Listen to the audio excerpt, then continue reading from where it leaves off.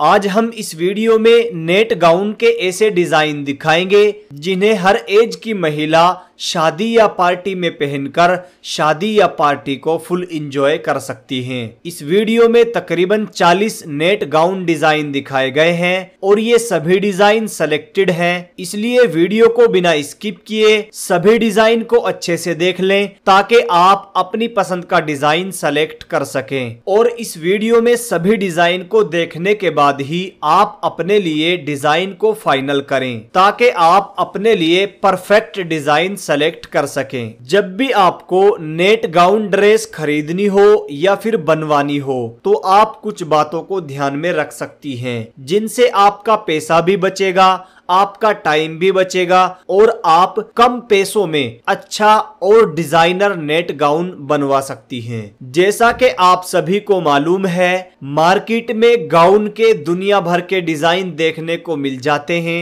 लेकिन अगर net gown की बात की जाए तो नेट गाउन अपने आप में काफ़ी कंफर्टेबल और स्टाइलिश ड्रेस है।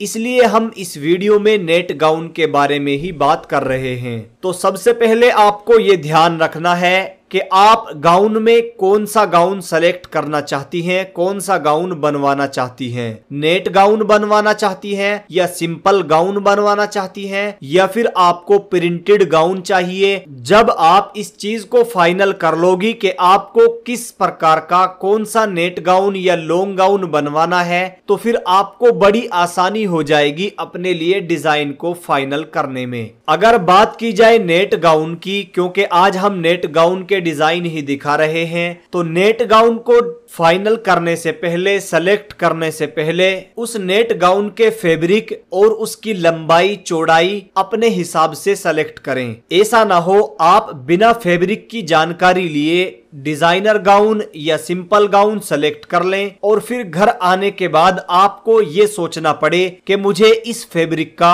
गाउन नहीं लेना चाहिए था। वैसे नेट गाउन में ज़्यादातर आपको अच्छे और डिज़ाइनर गाउन ही देखने को मिलते हैं, जैसा कि आप इस वीडियो में डिज़ाइन देख सकती हैं। वैसे आपका गाउन जितना लंबा होगा, जितना लॉन्ग होगा, उतना ही अच्छा लगेगा। लेकिन अगर आपकी हाइट कम है तो आप ज़्यादा लॉन्ग गाउन ना पहने, बल्कि आप शॉर्ट गाउन पहनने की कोशिश करें। हम आपको जल्द ही मिलेंगे नेक्स्ट वीडियो में नए टॉपिक के साथ। तब तक के लिए बाय थैंक्स फॉर वॉचिंग